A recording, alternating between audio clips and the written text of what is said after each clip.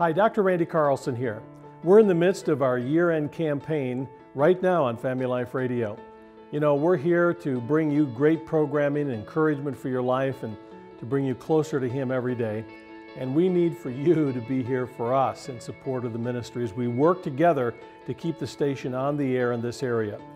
Your support right now of $100 or $500 or $1,000, whatever God lays on your heart to help us close out this year would be so valued and so appreciated.